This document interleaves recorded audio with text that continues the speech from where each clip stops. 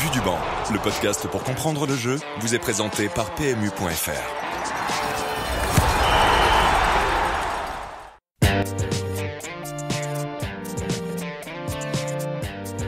Bonjour à toutes et à tous et bienvenue dans le quatrième épisode de la saison 7 de Vue du banc. On se retrouve aujourd'hui ou dès cette nuit si vous êtes euh, des nocturnes et que vous écoutez cet épisode en, en pleine nuit du 28 au 29 septembre 2020 pour débriefer certains des matchs des gros clubs européens. On en a choisi 7 et surtout pour se projeter sur leur avenir. Et dans cette optique, je compte sur mes deux tauliers habituels. D'abord Florent Unity. Salut Florent. Salut Raphaël alias Norbert, et Daguette qui a passé tout le week-end devant le football européen. Je crois qu'il est à peu près à 32 matchs vus ce week-end. Salut Christophe. Salut mon cher Raphaël, très heureux de te retrouver. Combien de matchs en réalité? Je vais pas compter une quinzaine, je dirais. Très bien. On fera les listes peut-être à un moment pour, pour que les gens se rendent compte de la machine que tu es, la machine indestructible qui passe euh, d'un championnat à l'autre très aisément, grâce notamment à sa maîtrise de toutes les chaînes du monde. Euh, on ne précisera pas comment. Je suis Raphaël Cosmidis, vous êtes entre mes mains et dans ma voix pendant une heure et demie. Et on va commencer, on va se fixer une limite, messieurs, de 10 minutes par club, parce que je sais que vous êtes capable de tunnel et de m'emmener très très très loin dans vos analyses. On va se dire 10 minutes par club, on aura du PSG, du Liverpool, du City, du Real, du Barça, du Juve, du Bayern, c'est dans l'ordre. On a hésité sur un huitième C'était l'Inter, et puis finalement on s'est dit que non. Euh, peut-être que ça changera en cours de saison. Mais on va se concentrer sur ces sept-là avec une question pour chacun de ces clubs.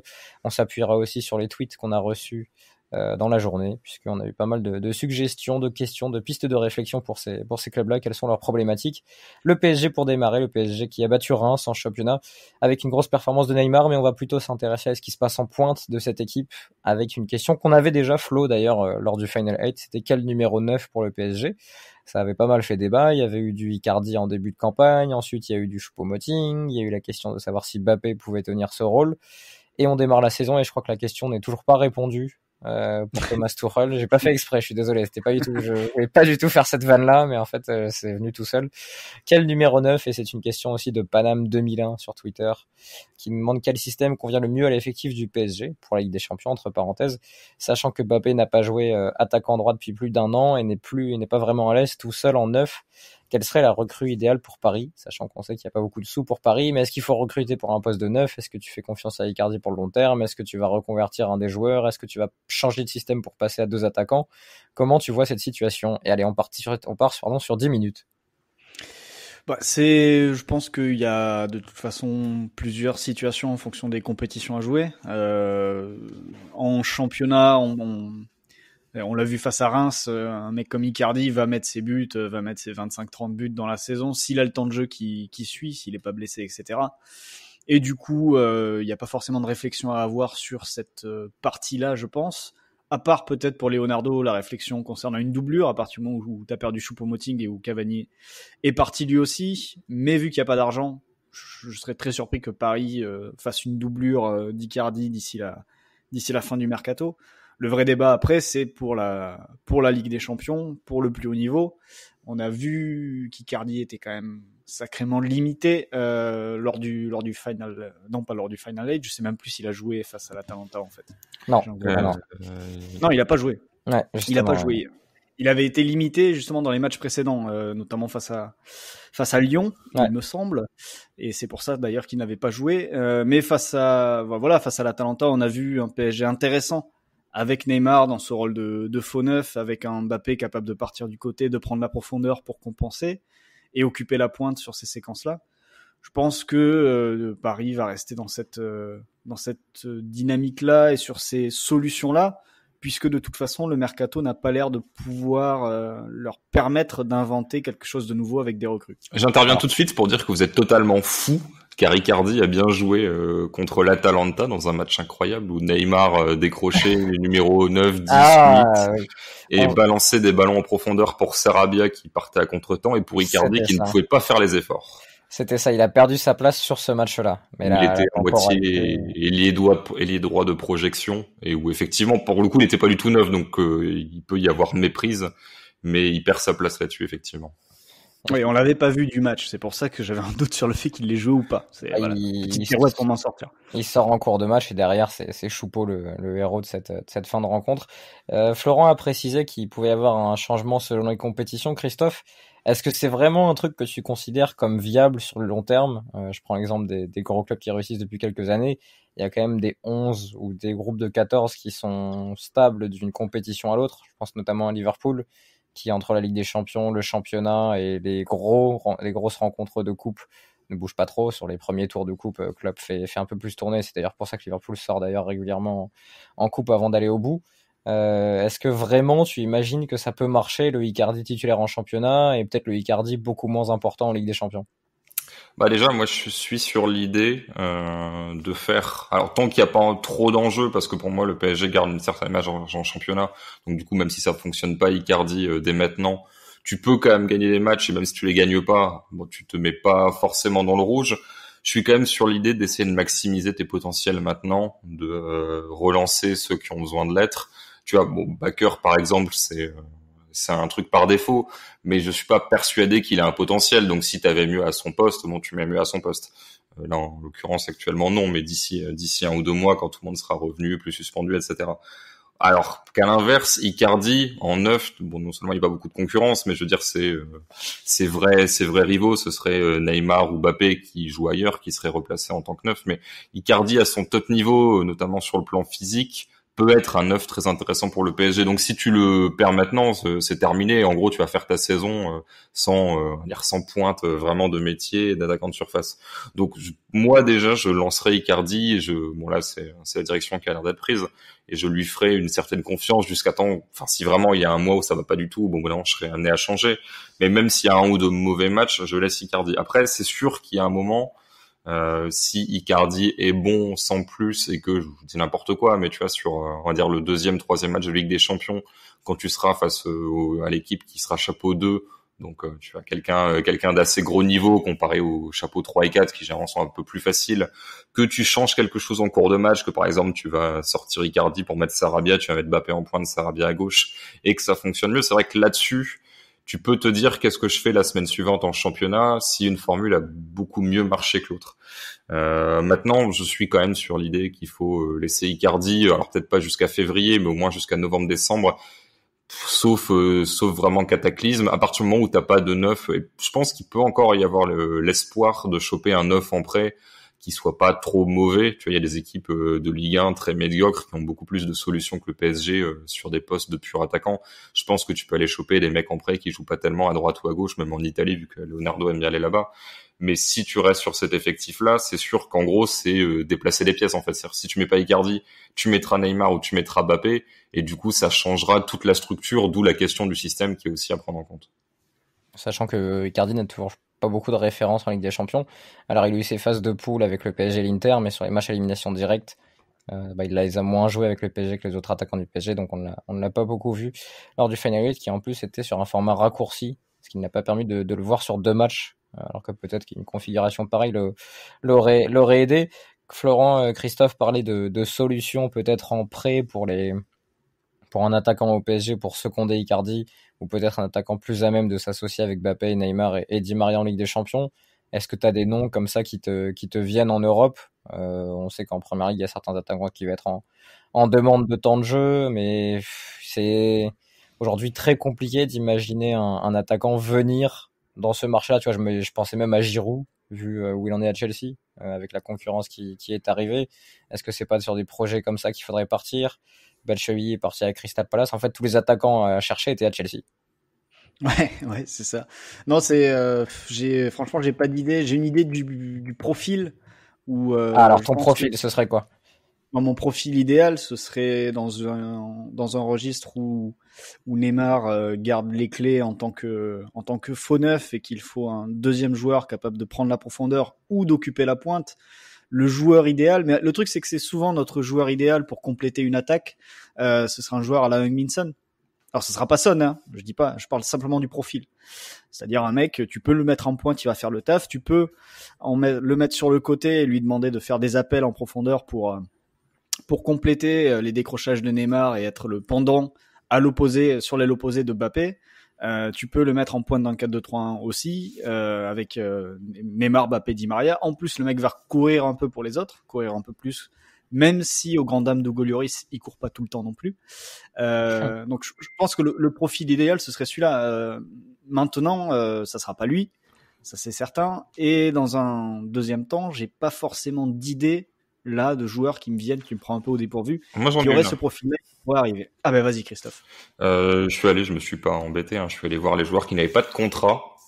Euh, Celui-ci a le profil, alors pas parfait, mais qui remplit quand même pas mal les cases. On a parlé de lui euh, pour autre chose cet après-midi entre nous, c'est José Calderon, qui apparemment est assez courtisé Ah. par la Lazio et il va bien dans le projet de jeu de la Lazio où ça aime, ça crée de l'espace et ça aime bien l'exploiter avec des coureurs, des joueurs qui courent vite et des coureurs qui jouent vite.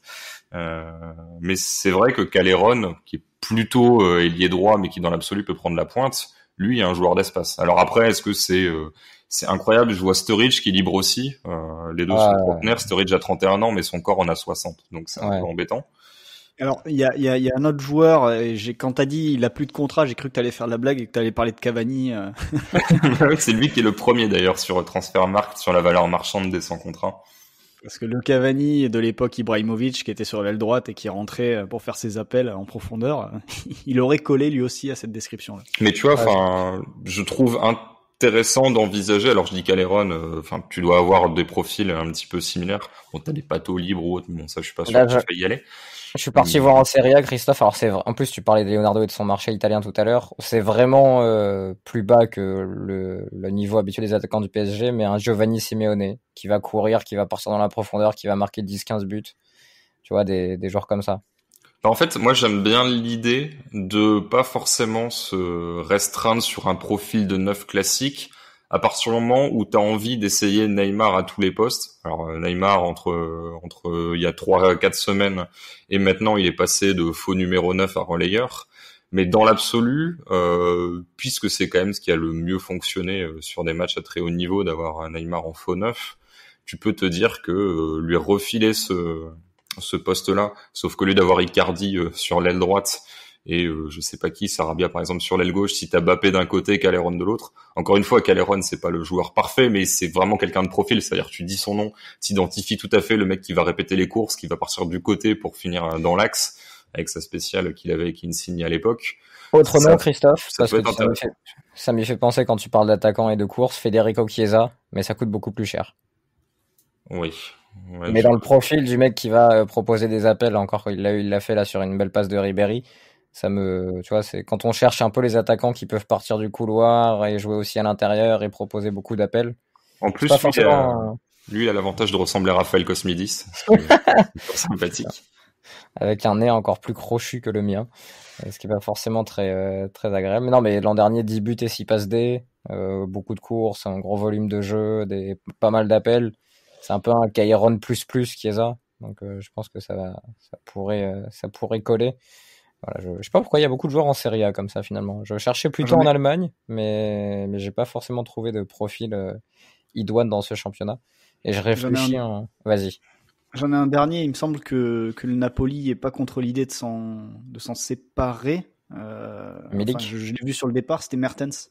Ah. Aussi. Ouais. Dries Mertens, qui est un peu vieux, hein, mais si tu veux faire le, le job pendant pendant quelques temps, il peut être neuf puisqu'il a il l'a déjà démontré. Il peut il peut jouer côté et attaquer la profondeur aussi, euh, attaquant un peu à tout faire. Voilà. Mais euh, en tout cas, on a l'air d'avoir d'y avoir, il a l'air d'y avoir un consensus sur le profil de pas pas un neuf pur, mais un mec en effet qui peut s'adapter à plusieurs situations.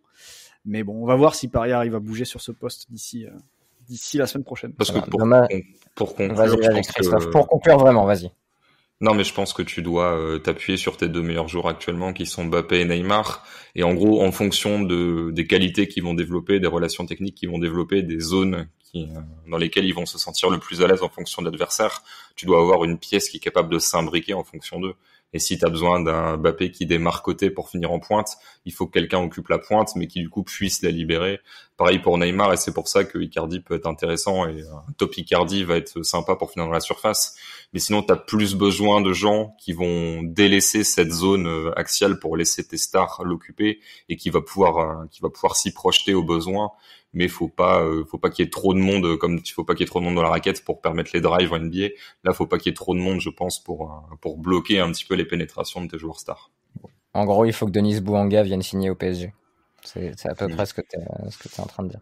Dommage d'avoir raté sinon le, le ballon d'or 2021 Ignatius Ganago, déjà meilleur buteur de, de Ligue 1. Qui brille, qui brille à Lens. Voilà pour le PSG. On a fait un peu plus que 10 minutes.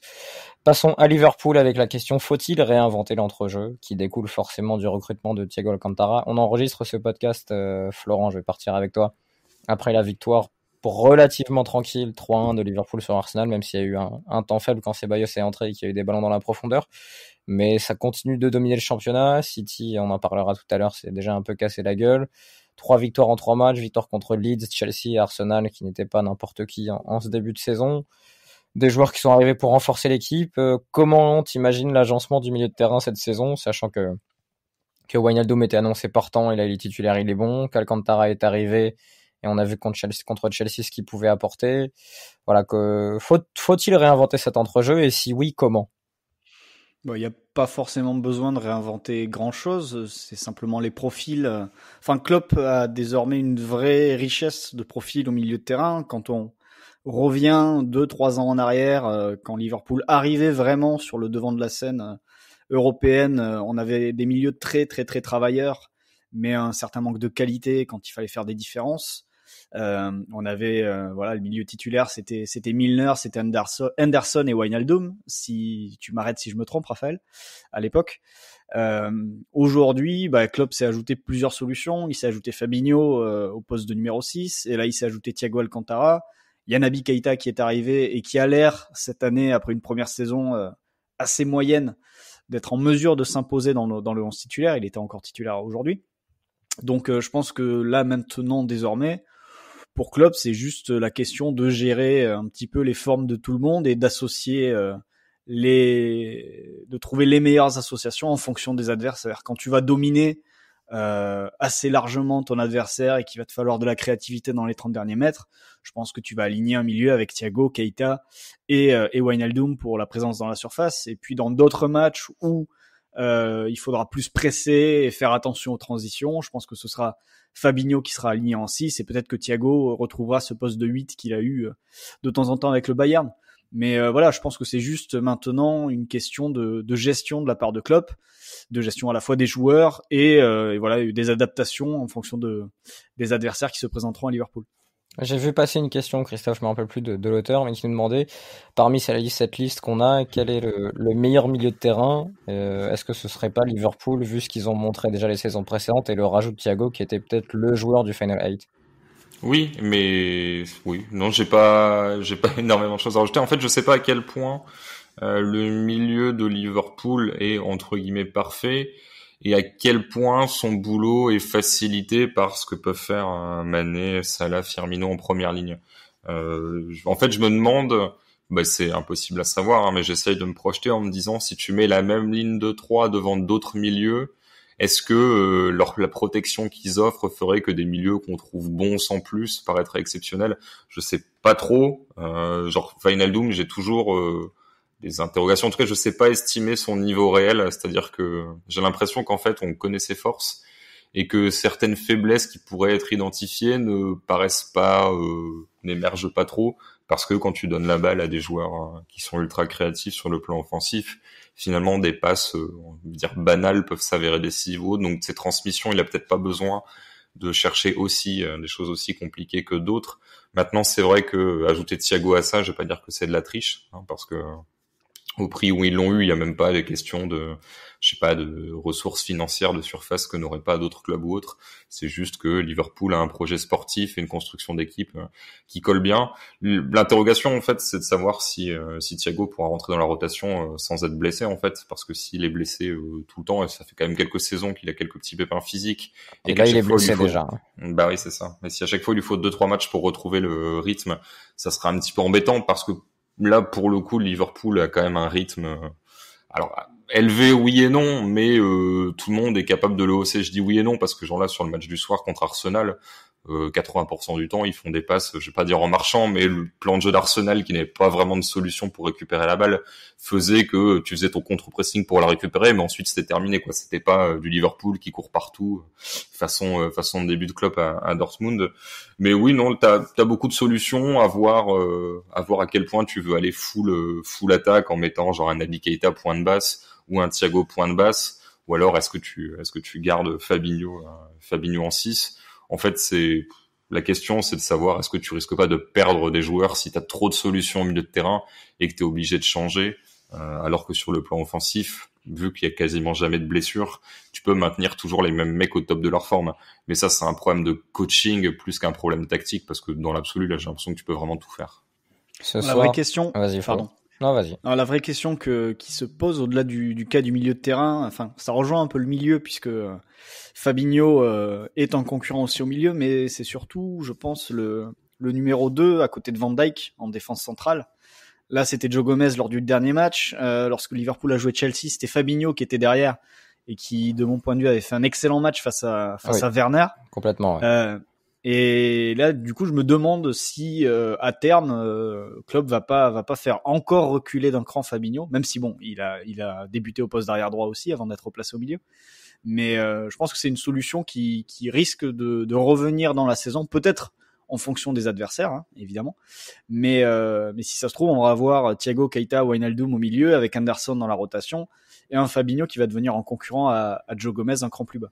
Ouais, sachant que les centraux de Liverpool en dehors de Van Dijk sont quand même assez euh, fragiles face aux blessures. Matip et Gomez ont, régulièrement des blessures et Fabinho a, souvent dû, euh, en tout cas régulièrement dû reculer pour, pour occuper ce poste-là. Donc s'il y a vraiment un secteur où il y a beaucoup de blessures, c'est celui-là. Plus Thiago qui va se blesser, comme le disait Christophe, euh, souvent parce que c'est quand même récurrent chez lui. Tu peux imaginer que la rotation sera sera un peu plus large que la saison dernière, et tant mieux vu, vu les profils de certains.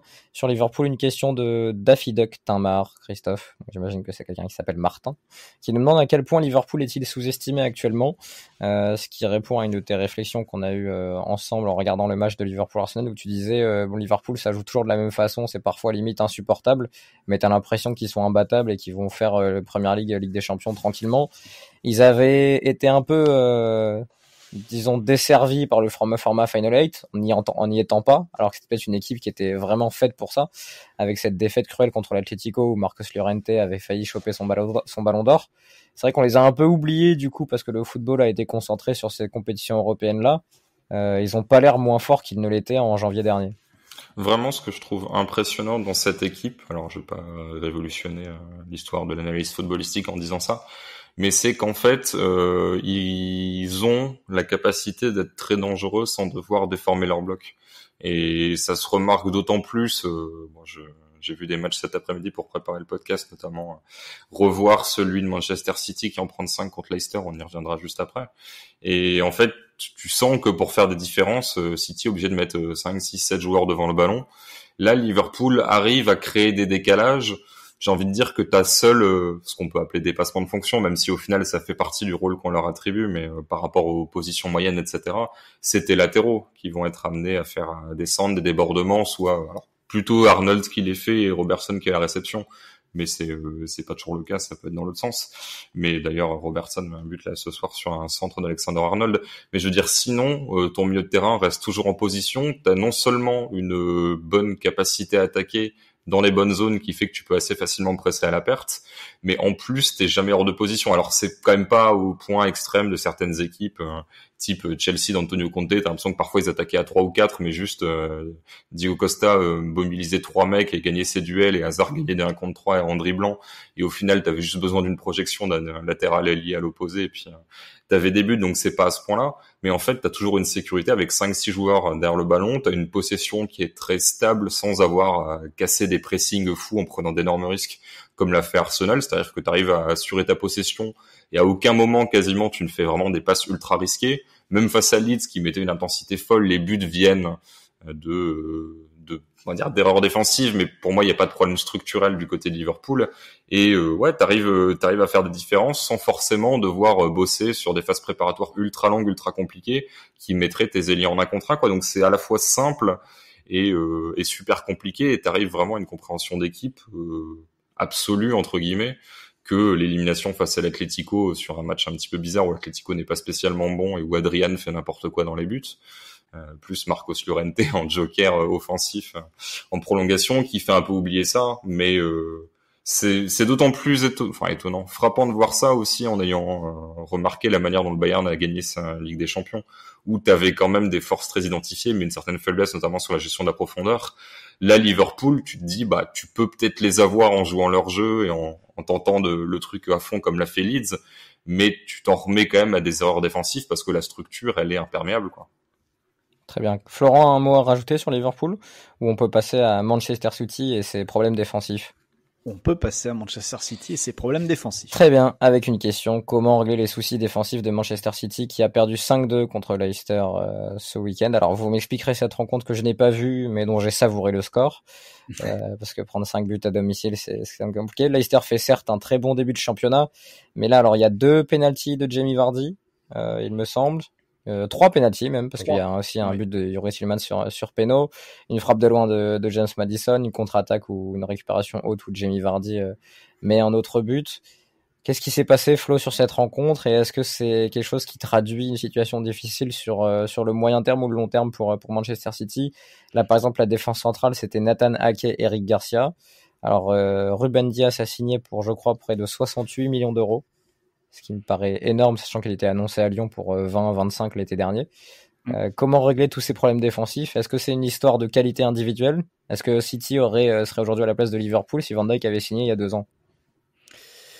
C'est une, une, bonne question ça, parce que Van Dijk, dans les situations d'urgence, est largement supérieur à tous les défenseurs de Manchester City. Maintenant, euh, Christophe pourra en parler plus en détail. Moi, je, sur le match face à Leicester, j'ai surtout vu des résumés et, euh, et, les actions marquantes, et notamment comment les pénalties ont été concédés. Et euh, ce qu'on voit au-delà euh, des limites individuelles des défenseurs qui font des fautes euh, idiotes dans la surface de réparation, se font passer devant bêtement. là, je pense à Eric Garcia ou ouais font des enfin accrochent bêtement aussi les adversaires là je pense à, Kai Walker ou Benjamin Mendy c'est-à-dire que les, les trois pénalties concédés sont quand même concédés dans des positions où il y a aucune euh, aucun enfin il n'y a pas de danger direct sur le but. C'est pas une action où si le défenseur ne fait pas faute il y a but garanti. Euh, voilà.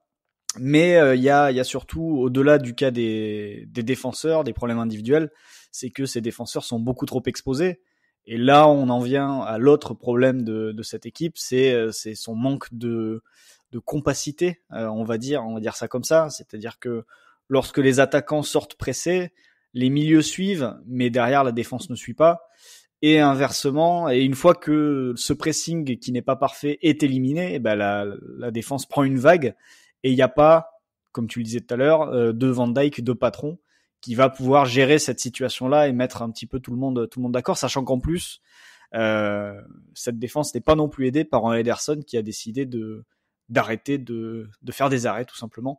Parce que par exemple l'action où Vardy met sa talonna de premier poteau, euh, bon Ederson est, est, entre Vardy et le but, mais, euh, mais la balle passe euh, assez facilement. Ça fait quelques mois quand même hein, qu'Ederson euh, a oublié d'utiliser ouais, face à Lyon déjà en demi-finale. Ouais, ouais.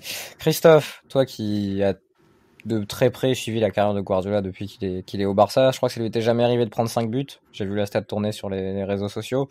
Et là, ce qui est marquant, c'est quand même l'effondrement petit à petit de l'équipe. Tu ouvres le score à la quatrième, tu prends 37e, 54e, 58e, 77e, tu reviens à 4-2, t'en reprends un. Et j'ai vu, euh, de ce que j'ai vu, en tout cas sur les, résumés, parce que ce match était un peu fou, je voulais voir comment ça s'était passé. J'ai vu des, des, réactions du joueur de City assez, euh, assez défaitistes, ce que je trouve est vraiment très rare dans les équipes de Guardiola, c'est-à-dire que d'habitude, certes, ils vont faiblir dans les temps forts, mais après, dans les temps faibles, pardon, mais ils vont se remettre derrière. Là, je trouve qu'il y avait un espèce de sentiment d'abandon et on sait que Guardiola a souvent dit que lui, après trois ans, il était un peu fatigué. Là, je crois que c'est sa cinquième saison avec City qui démarre. Euh, le recrutement des centraux a été répété avec du Otamendi, du Stones, du Laporte. Euh, là, il y a même temps du Hockey. Il y a Eric Garcia qui a été promu. Il y a Ruben Diaz qui va arriver. Comment tu, où est la source de, tous ces problèmes défensifs qui arrivent à chaque fois que City joue des gros maintenant depuis quand même euh, plusieurs mois? Alors beaucoup de choses à dire. Je vais essayer d'être assez concis mais sans rien oublier. Euh, le premier truc, euh, c'est dire quand même que contrairement à certains euh, échecs marquants, notamment contre Liverpool euh, il y a deux ans, quand euh, sur deux matchs quasiment de suite ils prennent des wagons de but en quelques minutes, là les buts arrivent en quelques minutes. Tu peux citer Monaco aussi là, lors de la première saison de, de Guardiola. Ouais, même si c'est légèrement différent, mais en gros, euh, t'avais le truc d'une équipe qui relance sous pression et qui, en schématisant un peu, a les pieds qui brûlent euh, dès que dès qu'il y a un but adverse et que du coup l'euphorie arrive, le pressing redouble, on veut ne pas quitter ses principes et au final on va un peu offrir des buts. Et euh, la thématique d'offrir des buts, mais qui est un peu consubstantielle au fait euh, de relancer court, c'est quelque chose qui arrive souvent. Là, les buts sont offerts, mais de manière totalement différente. C'est-à-dire que c'est vraiment le jeu sans ballon qui pose problème. Euh, l'action, euh, quasiment toute, hein, je crois, de mémoire, euh, ça naît de, depuis le camp de Leicester. Et le gros, gros, gros souci, qui s'accentue quand Fernandinho sort, parce qu'en gros, là, tu es sur un 4-2-3-1 avec Rodri, Fernand, Fernandinho devant la défense. Ce qui est d'ailleurs assez, assez étonnant pour une équipe de Guardiola, tu vois, d'avoir deux joueurs qui sont des... Alors, Rodri est bon relanceur, Fernandinho c'est aussi relancé, mais deux profils quand même plutôt de numéro 6 devant la défense, c'est pas forcément ce à quoi il nous avait habitués depuis quelques saisons. Et euh, quand Fernandinho sort et que tu as Rodri tout seul, euh, concrètement, il a une mobilité limitée, il couvre pas beaucoup de zones et il est totalement euh, livré à lui-même, totalement exposé. Et ça m'a rappelé un petit peu ce que disait Cruyff, à savoir qu'il demandait à, Guardiola, époque joueur, d'attaquer dans des grands espaces et de défendre dans des petits espaces parce qu'il avait pas, en gros, il savait pas défendre quoi. Et là, Rodri ne sait pas trop défendre et en fait, il devait évoluer sur des des carrés de terrain de 15 euh, mètres sur 30 quoi c'est pas du tout faisable. Et en fait ça vient d'un problème plus général qui est que cette équipe est mal structurée au moment où elle attaque et ne fait pas l'effort au bon moment au moment où elle perd le ballon elle doit faire le contre-pressing. Donc c'est à dire qu'à chaque attaque sachant qu'en plus euh, le nombre de joueurs devant la balle est assez conséquent alors c'est pas je veux dire Leipzig et d'autres le font hein, mais quand euh, ton 6 a la balle et que en gros tu as les deux centraux derrière et tous les autres qui sont devant lui bah ensuite quand tu te rates derrière, il faut être capable d'assez vite récupérer la balle, sinon euh, tu joues des allez, des 3 contre 3, des 3 contre 4. Et le problème c'est que là la balle elle est perdue et elle est pas récupérée tout de suite et soit les joueurs sont trop loin, soit ils font pas les efforts, soit il y a une situation, je sais plus laquelle c'est parce que je vous ai fait un milliard de screenshots, j'ai un peu j'ai un peu mélangé les trucs, mais où tu as De Bruyne qui fait la course vers l'arrière, Fernandinho qui fait la course vers l'avant et au final tu aucun des deux qui réussit à récupérer la balle, les deux se font éliminer sur un crochet, je crois que c'est sur le premier penalty euh, concédé par Kyle Walker et tu te dis Ouais, Mendy, ouais. Mais tu te dis, c'est pas, c'est pas possible. En fait, les deux sont pas du tout à distance et les deux vont faire une course. Normalement, t'as un joueur qui va essayer d'embêter l'autre. Genre, tu laisses De Bruyne revenir et puis ensuite Fernandinho couvre la zone. Et globalement, oui, c'est, tu prends des, des transitions ou des attaques rapides parce que tu, tu t'exposes beaucoup avec ballon, sauf que t'arrives pas à le récupérer. Et ça, je pense que c'est à la fois un problème, euh, un problème de structure parce que les joueurs sont pas bien placés, mais aussi de physique et donc de discours qui passent peut-être pas parce que cette équipe-là, en jouant de la même manière les années précédentes, arrivait à récupérer les ballons.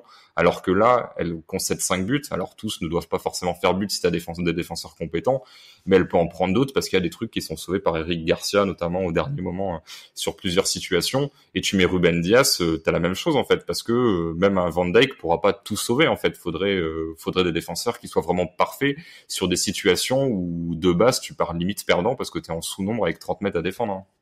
Bon, c'est bien parce que tu as un peu répondu à la question de Maxime Lavoine qui nous demandait euh, si, euh, si City devait changer sa politique de recrutement, notamment concernant ses défenseurs centraux, en prenant des défenseurs centraux un peu plus expérimentés, car ils, échinent, ils enchaînent pardon, là les erreurs de casting. C'est vrai qu'en général, les centraux depuis quelques années, alors on peut citer, il y avait eu du Mangala avant que Guardiola arrive, puis on a dit Otamendi, euh, Stones, Laporte, Ake, sont des joueurs qui en général arrivent à 24-25 ans Là où Liverpool a pris Van Dijk quand il avait 25 ans, 27 ans et qu'il sortait de, de, Southampton. Là, Ruben Diaz, je crois que c'est à peu près le même âge, ça doit être du 24-25 ans. Euh, vous me confirmerez ou pas les, les, gars, mais je, ça fait 2-3 ans qu'on entend parler de lui, donc j'imagine que c'est à peu près cet âge-là. Et on va voir, mais 68 millions pour un joueur qui, qui sort d'un Benfica, qui est pas non plus le Benfica des grandes années, ça paraît à nouveau beaucoup. Euh, il va y avoir beaucoup d'attentes autour de lui, sachant que normalement Laporte devrait revenir et prendre la place d'Ake en défense centrale, mais à nouveau beaucoup de soucis pour, euh, pour City défensivement. On verra comment Guardiola essaye de régler tout ça. Je, euh, je pense que je vais, juste, je vais, juste, dire un dernier petit mot euh, parce que ça va peut-être se confirmer dans les semaines à venir et je veux, j'y pense non-stop donc je veux le dire. Euh, j'ai commencé à me poser des questions sur le fait de jouer de manière aussi offensive quand tu as une défense à 2 et non pas à 3. Et je me demande quand est-ce que Guardiola va euh, enfin c'est pas une injonction que j'ai fait, hein. mais je pense que peut-être que le recrutement d'un défenseur central supplémentaire est un pas dans cette direction-là pour faire comme Leipzig qui aussi met énormément de joueurs devant le ballon, mais quand t'as un 6 et trois centraux, ça fait pour moi une couverture beaucoup plus simple et une aide pour le numéro 6 là qui serait euh, si tu laisses Rodri d'avoir un des trois centraux qui viendrait aider pour se mettre en position récupérateur et pour tout de suite harceler et couper la contre-attaque. Ça me paraîtrait beaucoup plus viable parce que là quand t'as que deux centraux en fait les deux ont tendance à reculer t'oses pas trop sortir euh, pour sinon tu laisses un contre 1 euh, si la passe est faite etc et j'imagine bien un 3-2 3-4-2-1 ou quelque chose comme ça, 3-4-1-2 pour Guardiola en quelques temps. Alors ça niquerait peut-être un petit peu son projet avec les ailiers, mais euh, je suis pas sûr que la défense à 4 à plat soit encore euh, super viable tel que le foot évolue actuellement. Ouais, mais il, a, souvent compensé ça avec des latéraux qui reviennent à l'intérieur, tenir des rôles de, de 6 ou de relayeur un peu. Enfin, tu vois, je... il les a plus là forcément ces latéraux. Ouais, ouais, non, je comprends ce que vous voulez dire, mais d'habitude il est arrivé à trouver des mécanismes pour euh, un peu remplacer cette idée-là. Parce que je prends mmh. l'exemple de Liverpool a toujours un relayeur qui ne monte pas quand l'autre est monté, ce qui fait que tu as euh, bah, Fabinho en 6, un relayeur un peu proche de lui, puis les deux centraux, donc tu as, as, souvent une base de 4, et puis tu as tes deux latéraux qui, qui montent tous les deux en même temps, donc euh, tu peux pas te, te permettre d'envoyer aussi deux relayeurs. Mais c'est, euh, enfin, je, je, je, suis d'accord avec vous. Hein, je suis juste étonné qu'il y ait pas de, que Guardiola n'ait pas de, de système pour compenser l'absence de, de joueurs idéaux, euh, parce que c'est quand même quelque chose qu'il a dû souvent faire jusque-là. Parce que Mendy, Walker, euh, tu peux leur donner des consignes, ça restera jamais euh, leur point fort le fait de verrouiller une défense, quoi. Malheureusement. Enfin, Walker compense un peu son manque de discipline tactique parfois par le fait d'aller très vite. Donc du coup, il peut rattraper certains décalages. Mais euh, je pense que, mais le foot évolue aussi, et je pense que ce qui était peut-être possible il y a quelques années, euh, les systèmes et les, réponses font que, enfin, je prétends pas avoir la solution, hein, mais quand je vois ce que les équipes à 3 peuvent avoir comme sécurité quand ça se projette, euh, je me demande avec ces, ces six là quand même assez lents, si c'est pas une solution à explorer à l'avenir. Après, c'est vrai que la question de Rodri sur transition risque de se poser. D'autant plus quand Fernandinho va vraiment arrêter. Parce que c'est, enfin, c'est pas forcément le mec qui était idéal pour, euh, pour. Autant avec ballon, il apporte euh, ce que, ce que, ce dont a besoin City, mais sans ballon, c'est pas du tout le même profil que Fernandinho. Et peut-être que c'est là aussi que City devra prendre un joueur d'ici, d'ici quelques temps. Passons au Real Madrid et à l'Espagne, puisqu'on parlera aussi du Barça juste après, avec une question, Florent, c'est comment organiser le milieu? On avait un peu là, sur Liverpool le, le débat de l'entre-jeu et son changement nécessaire ou non. On peut avoir un peu la même chose sur le Real, puisqu'il fait quand même des années que le Casimiro Kroos Modric est installé. Là, il y a des concurrents qui arrivent. Comment tu, vois cette situation au Real Madrid, sachant qu'il y a toujours l'idée que le Real a laissé, passer, laissé partir un de ses meilleurs milieux avec Ceballos, qui là a fait une très bonne rentrée contre Liverpool. Ouais, alors le, milieu du, du, Real, ça va être, je pense, une vaste question cette saison, surtout quand tu vois leur, euh, leur match face au Betis Séville, où Zidane avait concocté une sorte de losange où Kroos se retrouvait côté gauche pour défendre, hein, évidemment. On avait ensuite Casemiro et Odegaard dans l'axe, sachant que Odegaard était le joueur qui, qui sortait en pointe du, de ce losange derrière Benzema Jovic. Et côté droit, on avait Valverde euh, qui, qui faisait, euh, qui défendait côté droit donc et qui faisait ses courses dans le half space droit, comme voire sur l'aile droite même, euh, comme on avait pu le voir la saison dernière sur ce match-là, c'était assez laborieux. En fait, la vraie question, euh, à mon sens, c'est ce que tu vas faire. Alors, on peut imaginer que si le Real a rapatrié Odegaard, c'est pour euh, succéder à Modric. Le truc, c'est que Odegaard n'est pas du tout euh, dans le même profil. En tout cas, moi, le joueur que j'ai vu à la Real Sociedad la saison dernière n'était pas forcément le joueur qui, comme Modric, va descendre assez bas, va casser les lignes, euh, balle au pied. C'est plus quelqu'un qui va soit faire des différences par la passe quand il est en position basse pour casser des lignes, soit en se plaçant plus haut entre les lignes. Et euh, si tu prends l'animation aujourd'hui du Real et ce qu'ils ont montré lors du restart, il y avait un côté très fort à gauche avec euh, Benzema qui aime bien idée zoner, Hazard qui lorsqu'il n'est pas blessé est côté gauche, et euh, Ferland Mendy qui monte beaucoup. Donc sur ce côté-là, il n'y a pas grand-chose à faire, sachant que Cross est en couverture de ces trois-là qui, qui, font leur truc dans les 30 derniers mètres, donc il n'y a pas trop de soucis. Maintenant, pour Odegaard, se pose la question de où est-ce qu'on le met, sachant que sa créativité pourrait servir en effet pour animer le côté droit du Real. Le problème, c'est que soit il est en position basse, côté droit, et euh, donc il est une sorte de cross à droite avec euh, un milieu à trois très, euh, disons très très conservateur avec Cross, Casemiro et Odegaard. Soit il est plus haut et dans ce cas, s'il est plus haut, il faut quelqu'un pour les remonter les ballons. Et là, on sait que ce sera pas Carvajal pour lui, pour, que ce soit que ce sera pas Casemiro, pardon, pour lui mettre des ballons entre les lignes. Euh, Varane, c'est pas forcément dans ses habitudes de casser des lignes balle au pied pour trouver un joueur plus haut. Donc il y, a une vraie question, je trouve, qui se situe dans cette zone-là euh, pour l'animation du côté droit euh, du Real Madrid et autour de ce joueur qui, je pense, va mettre un petit peu de temps, un petit peu comme De Jong la saison dernière au Barça. Je pense que De va mettre un petit peu de temps pour vraiment trouver sa, sa position dans ce Real-là.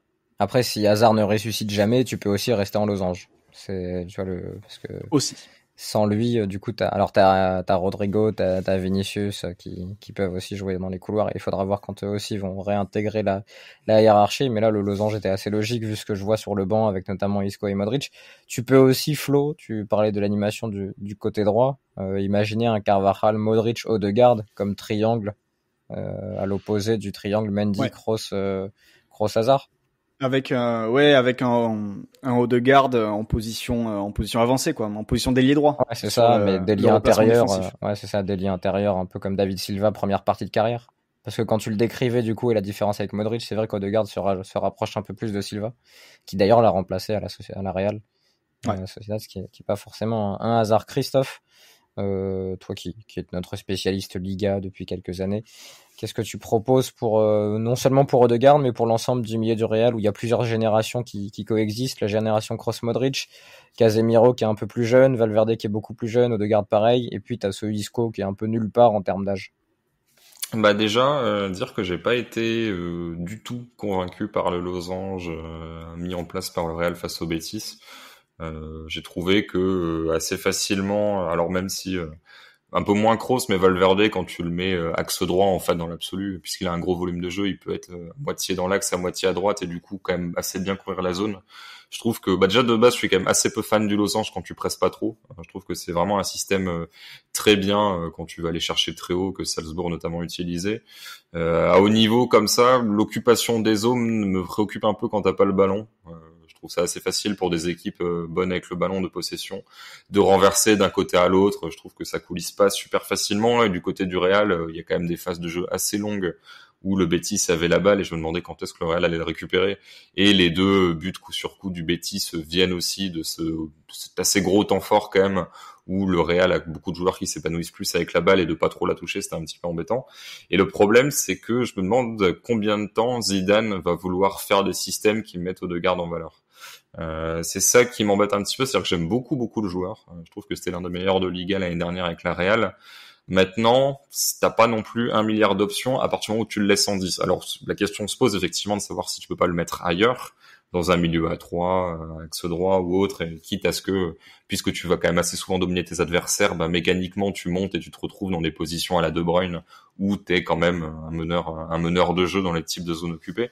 Euh, si tu fais des systèmes avec un pur 10 et que tu restes à 4 derrière, t'as pas non plus un milliard d'options. Alors tu peux faire des 4-2-3-1, mais je à voir si euh, si avec deux milieux de terrain aujourd'hui, est-ce que tu peux mettre Valverde Oui, mais qu'est-ce que tu mets à côté? Est-ce que tu mets Casemiro Peut-être un peu redondant et petit manque de créativité? Est-ce que tu mets Kroos ou Modric?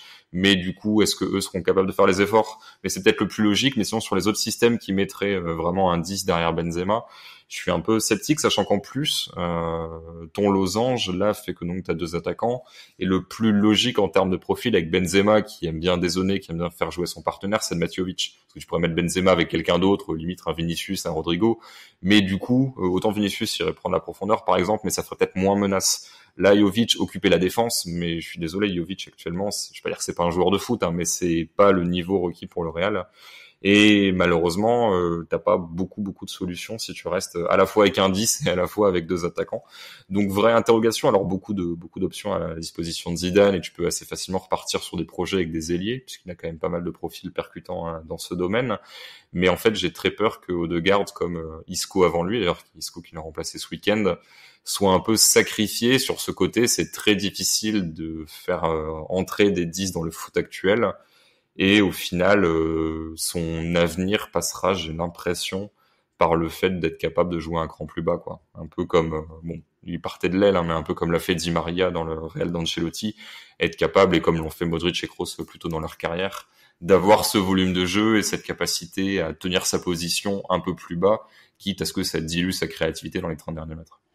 À noter que Joaquin, 53 ans, était toujours titulaire pour euh, Betis Séville.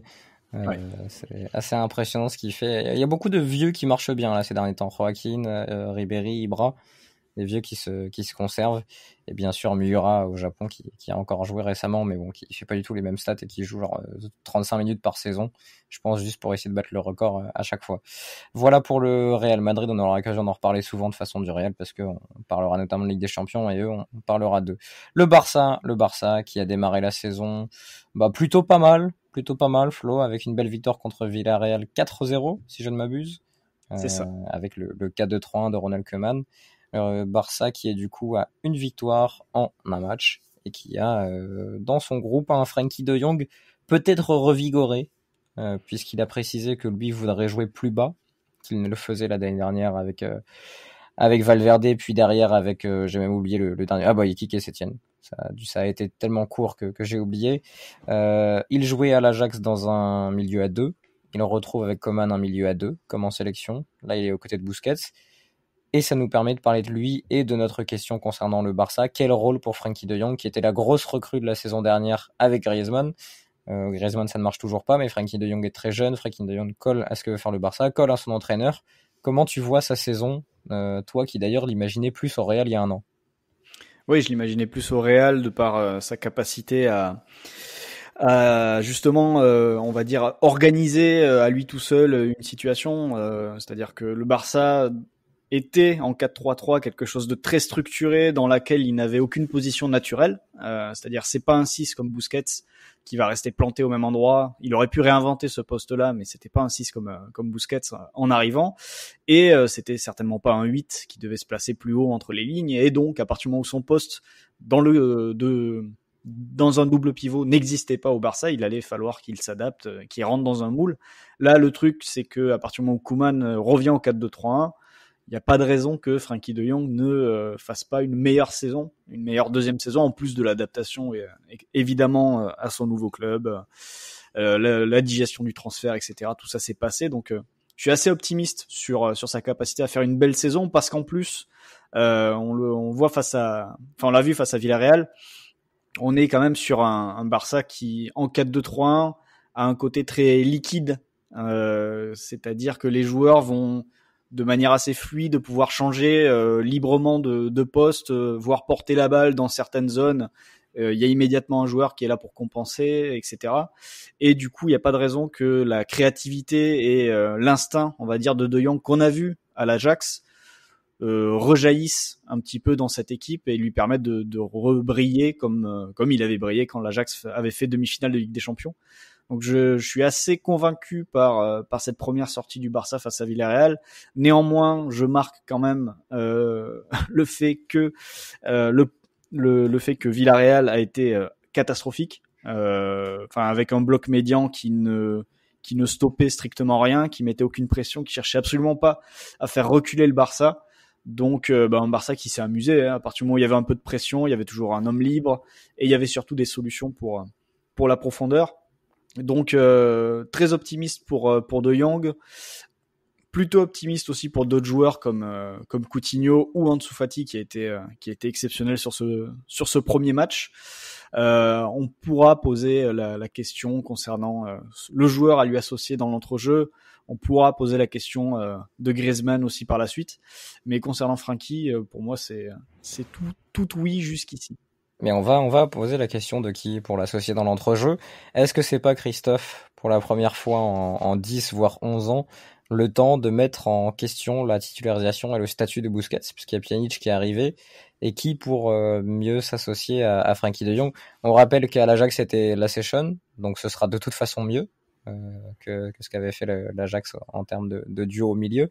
Voilà, qui est-ce que tu vois le mieux s'associer à, à, De Jong, sachant que Busquets et Pjanic sont quasiment de la même génération. Euh, mais voilà, c'est par rapport notamment à ce qu'a aussi le Barça un peu devant, ça nous permet de parler un peu plus de ce Barça qui a beaucoup changé en quelques semaines. Alors déjà, j'avais totalement oublié l'existence de la session, à tel point, à tel point comment tu as dit son nom, je pensais que tu disais genre session en anglais, genre la night session, je me disais mais de quoi tu parles? Effectivement, la session est, euh, est partie euh, est partie de l'Ajax après cette campagne euh, se perdre à moitié en Italie. Euh, ouais, en fait, bon, Florent dit beaucoup de choses sur le joueur à l'associé. en ayant vu le match, donc moi je l'ai vu en différé, Flo l'a vu en direct. je suis un peu moins, alors il a pas forcément exprimé ici, mais il était un peu sceptique sur certaines, euh, sur certains choix de passe de Busquets, on va dire un peu trop conservateur, alors qu'il y avait des options en profondeur ou des, des, choix de passe un petit peu plus risqués, mais un petit peu plus directs. Je suis un tout petit peu moins sévère que lui, même si je vois ce qu'il veut dire. Effectivement, euh, Busquets a quand même des habitudes de conservation et de euh, courroie de transmission vers des joueurs plus créatifs, alors que là, puisqu'il y a beaucoup d'options devant lui et que ça bouge pas mal, il faut qu'il ait envie de se prendre ce risque-là. Malgré tout, je trouve qu'il n'y a pas eu tant d'actions scandaleuses que ça. Après, c'est vrai que Pjanic a beaucoup plus cette volonté d'allonger, puisque en tant que quarterback de la Juve, euh, il avait quand même une certaine filiation Pirlo où il pouvait être amené à allonger beaucoup plus et à moins valoriser la possession et donc euh, donc un peu plus osé. C'est vrai qu'il y a une vraie question là-dessus. On peut même je pense pas qu'on en soit là et je sais pas si on y sera à un moment, mais on peut même poser pourquoi pas la question de savoir si Coutinho sera pas à un moment amené à s'installer en tant que deuxième joueur devant la défense si tu considères que l'adversaire doit être, à mon avis, ça sera plus par séquence, genre t'es à 0-0 à la 60e, il faut prendre des risques. Mais euh, Coutinho, en tout cas, dans un rôle axial assez intéressant. En fait, ce qui est pas mal, c'est que je trouve que euh, bah c'est c'est un peu en lien avec ce que disait Florent, hein, mais le fait que ça soit liquide, peu de gens ont bouffé la balle, alors que euh, un Messi mais d'autres hein, ont cette capacité technique à éliminer, un Coutinho aussi, et du coup euh, peuvent avoir tendance à faire deux trois touches de balle de trop pour faire vivre le jeu. Là, tout le monde a joué assez simple.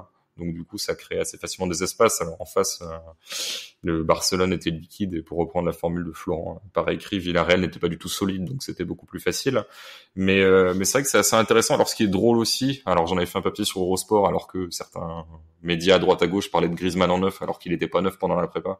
Effectivement, Griezmann a joué couloir droit. Alors couloir droit qui amenait à dézonner et qui euh, va faire des appels vers l'axe, donc qui du coup va se retrouver plus ou moins à la position de Messi si Messi hein, part dans une autre direction, mais de base, euh, Griezmann est couloir droit et Coutinho est dans l'axe.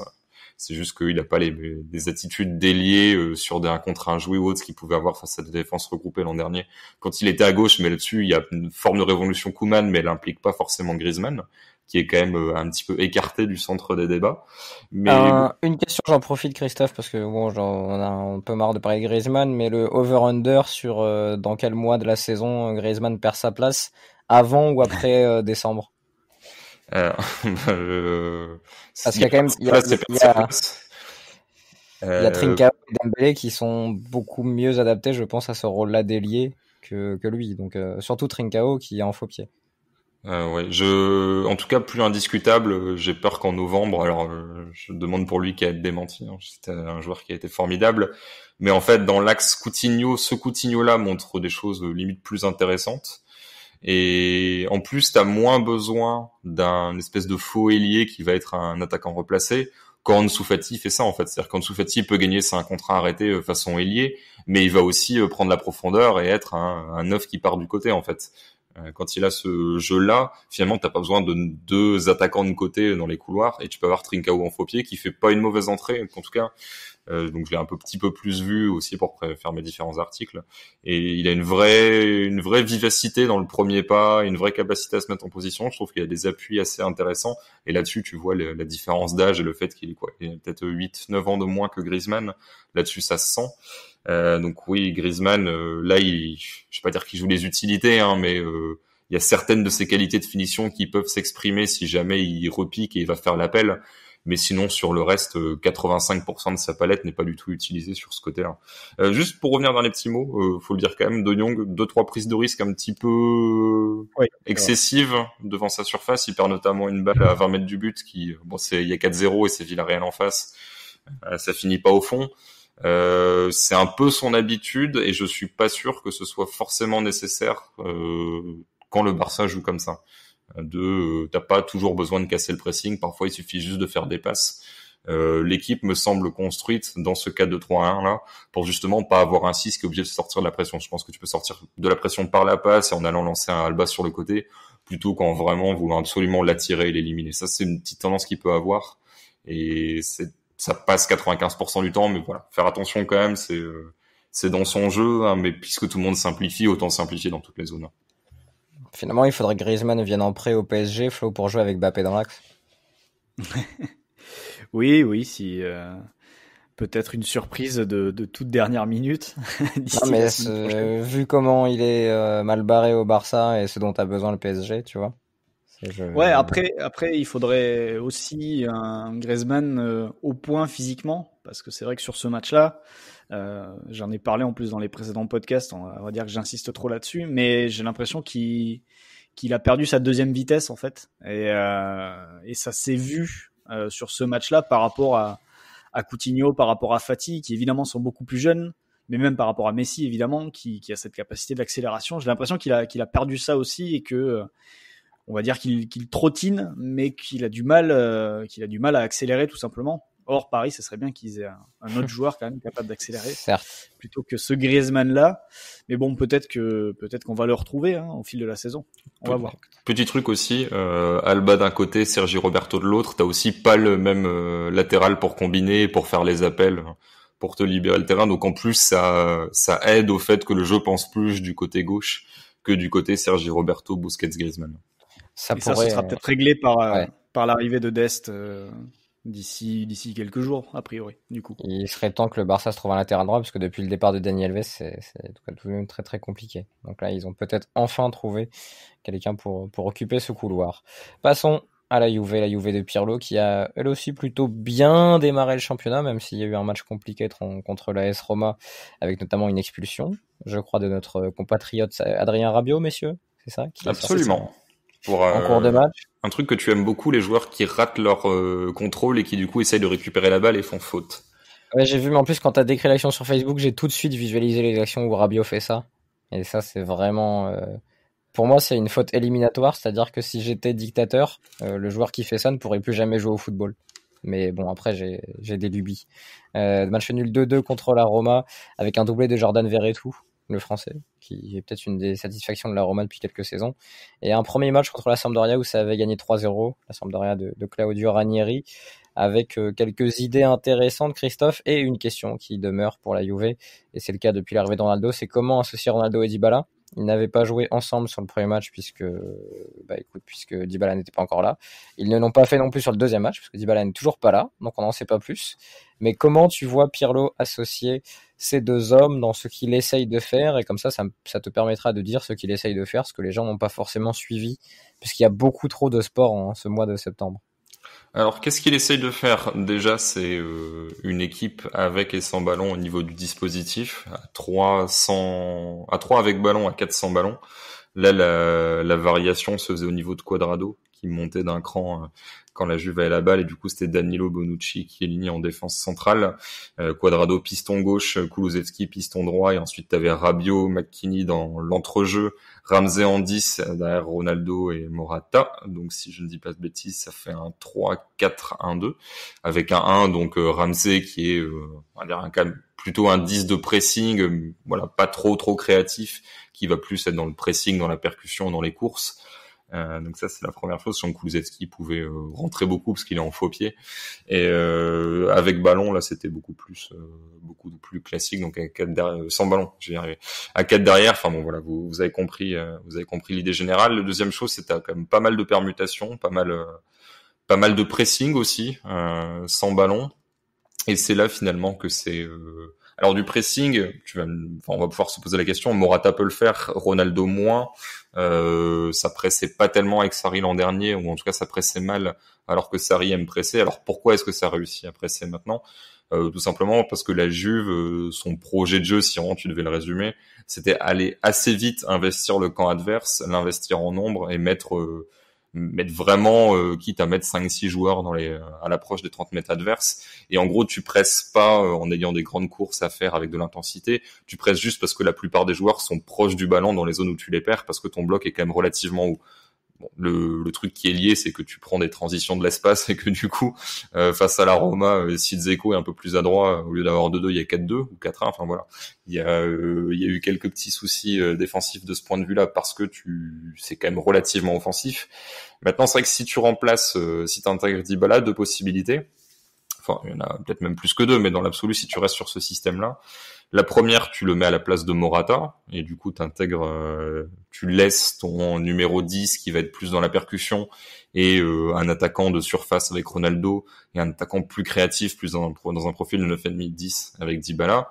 Ton deuxième, euh, ta deuxième option, plus risqué, c'est de remplacer Ramsey par Dybala, le mettant en 10, et d'avoir Dybala derrière Morata et Ronaldo. Le truc, c'est que là, il y a, allez, je vais dire qu'il y a un, voire deux joueurs de la Juve qui arrivent à combiner intensité et capacité à faire des différences euh, avec le ballon, d'avoir un peu cette créativité tu j'ai des doutes en fait sur Ramsey mais parce que euh, il court beaucoup là il fait plutôt des bonnes passes. Je sais pas si sur la durée il serait capable d'avoir cette créativité dans les 30 derniers mètres à voir. Mais sinon c'est Kulusevski qui court absolument tout le temps tout le temps tout le temps. Euh, il court pour trois et malgré tout il fait il va s'insérer au cœur du jeu il va faire ses débordements en faux pied il va revenir il va apporter une menace par euh, par sa capacité à, à, percuter balle au pied. Ça c'est intéressant mais sinon tu es quand même souvent dans la dichotomie. Est-ce que tu mets des joueurs comme McKinney qui vont t'apporter beaucoup d'impact physique qui vont euh, se contenter de faire des passes relativement faciles à des joueurs plus créatifs, ou alors des joueurs de surface ou de créativité qui eux vont moins courir. Et c'est vrai que Dybala est plus dans le profil euh, j'invente avec le ballon, mais sans ballon je cours pas trop. Et du coup va se poser la question de où tu mets le curseur pour Pierre, ou est-ce que tu veux une équipe ultra créative, ou est-ce que tu restes quand même avec des sécurités et des joueurs qui vont être capables d'abattre beaucoup de beaucoup de kilomètres et avoir beaucoup de volume? Ta vision, Florent, de ce, de ce duo, de cette association, pardon, dans le, dans la Juve de Pirlo. J'ai l'impression que Sarri n'a jamais réussi à bien les faire jouer ensemble, mais c'est une des bonnes performances individuelles des deux, pardon. Euh, voilà, comment tu, tu, vois à peu près ce, ce duo, sachant qu'il y a, a d'autres éléments offensifs qui sont arrivés à la Juve, et notamment Kulusevski, euh, qui fait plutôt un, bon début de saison. Ouais, euh, en fait, pour rebondir sur ce que dit Christophe sur, sur le match de la Juve face à la, face à la Roma, moi j'ai trouvé leur, leur manière de jouer très, très scolaire, leur manière de sortir la balle. Euh, à part en effet Kulusevski qui va qui va casser un peu le, le, moule et qui va et qui va apporter de la percussion et qui va un peu improviser. Et euh, et c'est vrai que ce côté très scolaire aussi dû par par le, le choix de, de Pirlo de titulariser McKinney et Rabiot au milieu de terrain, euh, alors que t'avais, je crois sur le banc t'avais Arthur et Bentancourt qui, il me semble, sont entrés en jeu. Euh, c'est ça, enfin, ça te rend forcément un petit peu dépendant quand même d'avoir euh, d'avoir Dybala sur le terrain. J'ai du mal à imaginer. Le problème, c'est que à partir du moment où tu as Dybala sur le terrain, il a ce côté euh, one man band à la que peut que peut être Isco, que peut être que peut être Hazard, qui si tu veux créer une, une, une structure pardon très très scolaire de jeu euh, collectif, c'est un joueur qui va qui va la la casser c'est-à-dire c'est une structure à lui seul. C'est-à-dire à partir du moment où il reçoit la balle, il faut des mouvements autour de lui et il faut changer les mouvements qui sont euh, imaginés à la base pour les collectivement pour les 11 joueurs. Donc euh, donc voilà, il y a, y a quelque chose à trouver. Le problème, c'est que j'ai l'impression que depuis depuis quelques saisons maintenant, euh, Dybala n'est plus du tout le projet euh, central de la Juve, ni même le projet annexe et que du coup, à partir du moment où on bâtit l'équipe autour d'autres d'autres personnes, et eh ben forcément Dybala passe passe un peu à l'as et n'a plus que ce rôle de, de, joker. Là où, à mon sens, il devrait avoir un rôle central parce que euh, bah, de tous les joueurs euh, offensifs aujourd'hui de, de la Juve, c'est de de très très loin le plus créatif, soit directement pour lui, soit pour les autres. Maintenant, euh, comment j'imagine le truc Ça revient, enfin, je vais revenir un petit peu sur ce que disait Christophe, c'est-à-dire ça dépend où tu mets le curseur. Est-ce que tu veux euh, Dybala Ronaldo ou est-ce que tu veux Dybala Ronaldo et un troisième euh, et un troisième homme? Et là se pose la question de la complémentarité parce que aujourd'hui Ronaldo, quel type de joueur c'est hors de la surface de réparation? Euh, je j'arrive plus vraiment à le définir. Est-ce que c'est un joueur qui a vraiment un intérêt hors de la surface de réparation aujourd'hui en 2020 et bientôt en 2021 en, en fait, j'en suis pas certain. La question c'est quand est-ce qu'un club va se dire OK, notre neuf c'est Ronaldo? Parce qu'il a toujours joué neuf depuis quelques années, mais toujours avec un autre. Et j'ai l'impression que, alors c'est peut-être son choix et son souhait, mais qu'il aime pas jouer neuf tout seul. Tu vois. Du coup, ça pose pas mal de problèmes au reste de l'équipe. C'est là qu'il se pose justement la question. Si tu, si Pirlo décide de dire, bah, Ronaldo c'est mon neuf, dans ce cas-là, pourquoi t'es allé chercher Morata? Euh, Oui, c'est pour ça que je pense que ça vient d'une volonté peut-être de Ronaldo exprimée ou non, euh, enfin euh, clairement ou moins clairement, mais glissé, mais parce que c'était pareil au, Real, tu vois. Après, il y avait Benzema qui était parfait pour lui, mais depuis qu'il est à la Juve, Sarri à aucun moment où ou derrière maintenant Pirlo ne le met vraiment neuf et comme ça parce que ça permettrait en fait à Dybala d'avoir beaucoup plus de liberté. Le souci c'est d'avoir deux attaquants axiaux plus Dybala tu sais pas trop quoi faire de Dybala quand tu as déjà deux mecs qui vont occuper cet axe-là. D'où la question du, troisième mec qui va compléter ce trio hypothétique qu'on imagine. Dybala, Ronaldo, Morata pour moi, je vois pas l'intérêt d'avoir Ronaldo et Morata euh, sur le terrain parce que je trouve que les, profils euh, sont assez assez similaires euh, et surtout les, le niveau de Morata depuis quelque temps euh, est assez bas, hein, on va dire. se pose la question de Kulusevski. Je ne le connais pas assez. Je vais relancer Christophe sur le sujet. Mais est-ce que Kulusevski peut être un complément à ces deux-là en étant positionné bah, plus haut sur le terrain, sachant qu'en plus lui qui court partout pourrait peut-être courir pour initier le pressing ou ou être ce, premier rideau euh, à lui tout seul? Oui, franchement, euh, mettre, euh, en deuxième neuf, voilà, en attaquant aux côtés de, de Ronaldo et avoir Dybala en 10, c'est pas mal. Après, c'est toujours pareil, c'est-à-dire que, en fait, j'imagine le truc à la perte du ballon, et je me dis si ta première ligne c'est Ronaldo, euh, Ronaldo Kulusevski et que ta deuxième c'est un peu Dybala tout seul, euh, Kulusevski pourra pas suffire en fait. C'est-à-dire que si euh, si ta première ligne c'est Dybala Ronaldo, bon la deuxième première ligne est passée, mais Kulusevski s'en sert au milieu, du coup ça va. Et c'est aussi d'ailleurs pour ça que je pense que Messi par exemple euh, va euh, quasiment tout le temps partir de la position de numéro 9 avec quelqu'un derrière lui et que j'ai jamais trop cru au fait d'avoir euh, Griezmann en pointe et Messi derrière parce que je me dis si ta première ligne c'est pas grave si elle est éliminée mais ensuite euh, le mec qui court le plus va venir densifier le milieu est-ce que est-ce que Kulusevski aux côtés de Ronaldo et Dybala derrière tu risques pas d'avoir d'arriver assez facilement sur sur les deux lignes qui suivent avec avec de l'espace? Mais en tout cas avec ballon Kulusevski, bah, il est encore assez jeune, donc on n'a pas non plus dix saisons derrière nous pour euh, estimer ce qu'il fait. Mais à la fois avec et sans ballon, je le trouve assez euh, assez intelligent pour euh, pour faire les déplacements et pour occuper la zone. Mais maintenant, est-ce que quel profil que souhaite Ronaldo, sachant que je sais même pas exactement quel profil de Morata. Tu vois, c'est un top Morata, je t'aurais dit ok. Là, je sais même pas s'il a été pris parce que il va occuper la surface, parce que il s'entend bien avec Ronaldo, parce qu'il est pas trop mauvais de la tête. Euh, parce que Morata, c'est quand même attaquant qui te donne l'impression d'être bon de la tête alors qu'il n'est pas si bon de la tête que ça, de pas être trop technique alors finalement il est quand même pas, il est quand même une certaine technique qu'on a vu sur des matchs de Ligue des Champions notamment avec la Juve à l'époque, mais euh, qui marque, euh, qui marque finalement pas tant que ça et qui n'est pas toujours associé à des binômes qui marquent beaucoup. C'est-à-dire il est euh, ni lui ne marque 15 buts, mais le mec à ses côtés n'en marque jamais 30 non plus. Du coup, je, j'avoue que je suis assez sceptique sur le fait de le faire venir, surtout quand tu vois les autres noms qui auraient pu être évoqués à l'époque. Après, le, dernier bon Morata, c'est 2017 quand le Real est champion avec euh, son limite son deuxième 11 en championnat.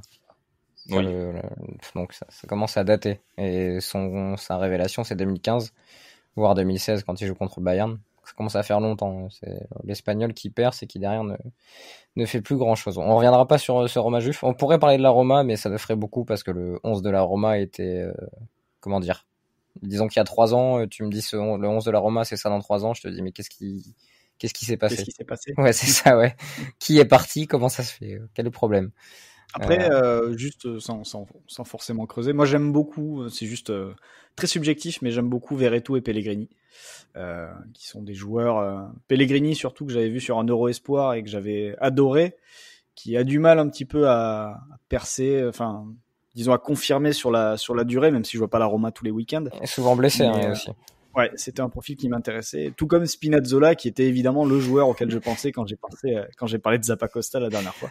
Ouais, mais, trop de S, de Z et tout, je m'étais perdu mais à culpa. Et d'ailleurs, si vous avez écouté la version de l'épisode où je parle de Zappacosta, il y a une nouvelle version qui est tombée où je parle de Spinazzola, donc euh, voilà. Mais à culpa, c'était ma faute. La magie du montage. Mais après, il y a quatre syllabes, ça finit par A, ils sont latéraux. Bon, ça, c'est... Ouais, euh, les latéraux qui ont les deux pieds euh, en Italie, euh, qui ont des carrières décevantes, il y en a, il y en a un paquet et voilà. J'ai fait, j'ai fait l'erreur. Il y en avait un autre sur le terrain d'ailleurs avec David Santon qui, c'est vrai, qui n'a rien fait de mal lui, hein, mais genre la carrière, sa carrière, c'est Inter, Newcastle, Inter, Roma, en étant jamais bon. Vraiment, c'est incroyable. Je, je comprends même pas comment c'est possible. Là, il a, il a 16 000 minutes de jeu en 11 ans un but, neuf passes D, et il prend euh, je sais pas combien de par mois depuis des années. Vraie question. Est-ce que David Santon et pas Jérémy Berthaud qui aurait réussi à convaincre d'autres clubs de très bon standing de le signer? C'est un mec qui 18-19 ans peut avoir du temps de jeu et tu te dis ah en fait c'est pas trop mal euh, s'il progresse mais qui un ne progresse pas et deuxièmement bénéficier d'un contexte favorable et quand tu le mets dans un truc moins bon bah en fait il va être moins bon comme les autres quoi. Pour moi François Claire. ouais c'est ça c'est François Claire moins le temps de jeu en fait c'est François Claire, qui on le rappelle, est le Ryan Gosling euh, français. Hein. Il faut pas oublier que, Ryan Gosling était, que Ryan Gosling était tout près, était à une, euh, une feature euh, de tête près, une, un trait facial près de ressembler vraiment, vraiment, vraiment à François Claire. Et ça aurait été une carrière tout à fait différente. Et je pense que le film Drive, tu remplis mais François Claire à la place, ça, ne donne pas du tout la même chose. Bah déjà c'était roule et ouais non c'est moins bien. Et maintenant, du coup, j'imagine Only God Forgives aussi avec euh, François Claire et ça me paraît un projet absolument incroyable. Peut-être que le film aurait été moins nul quand même, parce que Only God Forgives, euh, énorme déception au cinéma pour moi. Je sais Christophe a adoré, mais bon après Christophe, euh, c'est particulier. on peut passer au Bayern, notre dernier club. Bayern qui a perdu 4-1 contre Fenheim en Bundesliga avec sa ligne défensive très haute, bah, qui a enfin été punie. Ça aurait pu être le cas en Ligue des Champions. Finalement, il aura fallu attendre euh, fin septembre pour que le, pour que le Bayern subisse cette, euh, cette défaite. Elle devait arriver à un moment ou l'autre et ça nous permet de nous demander, Christophe, si le Bayern doit se renforcer et où. C'est d'ailleurs une question de Prince Tatum euh, en référence à, à Jason Tatum et non pas Channing Tatum qui du coup doit être très déçu parce que Miami a, a battu Boston où le Bayern doit recruter. Il y a le roi Sané qui est arrivé. Qui d'autre est arrivé? Je ne sais même plus qui est arrivé au Bayern. Tu vas peut-être m'aider, Christophe. Pas grand monde, en fait. Il me semble que c'est tout. Hein. je... crois aussi. Non, non, mais sachant que c'était un, un, transfert dealé de longue date. Donc, oui, et d'ailleurs, l'effet de surprise. Je vais en profiter pour donner la compo qui a joué contre Fenheim dans les buts Neuer, Pavard, Boateng, Alaba, Davis derrière, Kimmich, Tolisso milieu de terrain, Sané, Muller, Niabri derrière, Zirkzi, pardon, et des entrées donc de Moussiala, Lewandowski, Goretzka et Coman. Où le Bayern peut-il se renforcer? Euh, bah, vaste question. Euh, ça dépend. Je pense que déjà oui, il doit se renforcer. Euh, apparemment, ça, s'ils étaient plutôt sur l'idée de un ou deux joueurs, et ils vont peut-être basculer sur celle de trois ou quatre. Euh, alors, en plus, j'imagine que c'est euh, parce que un cuisant s'est courtisé. Deuxièmement, Ravi Martinez devrait repartir à Bilbao. Donc c'est-à-dire que la vague des départs n'est pas totalement terminée. Alors même si ce sont des joueurs qui jouaient pas trop, euh, voilà, ça reste, euh, ça reste des départs qu'il va falloir compenser. En fait, il y a deux, deux approches. Un, est-ce que tu penses ou non améliorer le 11 et deuxièmement quel profil tu vas euh, chercher pour avoir des doublures?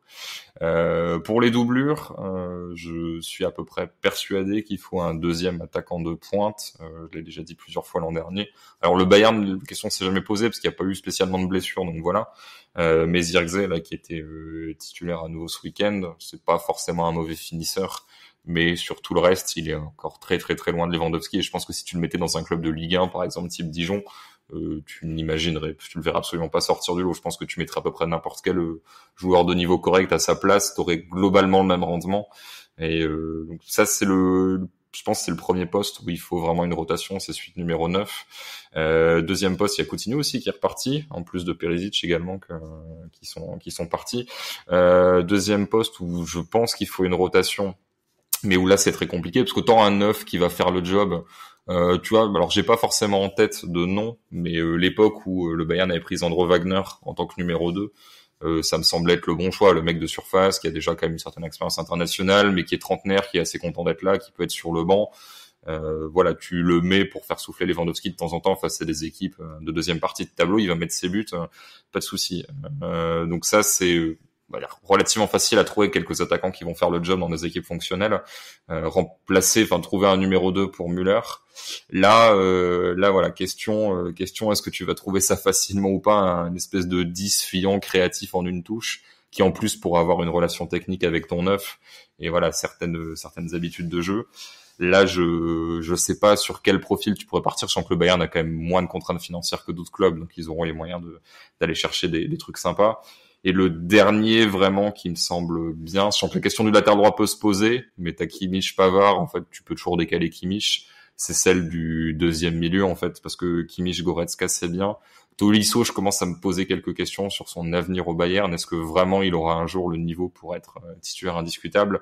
Je pense vraiment qu'il faut euh, il faut trouver un 8 euh, un 8 dans la veine de Thiago et tourner à 3 en fait avec avec Kimmich, Goretzka et un troisième, mais pareil, un Thiago, t'en trouveras pas, même un Thiago à 80% de ses qualités, t'en trouveras pas facilement et disponible sur le marché des transferts le 29 septembre.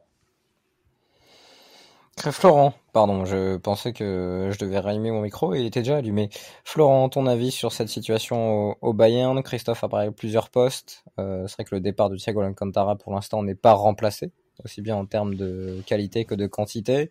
Alors sur le banc, il y avait quand même encore du monde hein, pour le Bayern. Il y avait Soule, il y avait Lucas Hernandez qui était annoncé, annoncé en partance il y a quelques temps. Ravi Martinez n'était pas encore parti, mais Cédric Bilbao était annoncé comme le disait Christophe.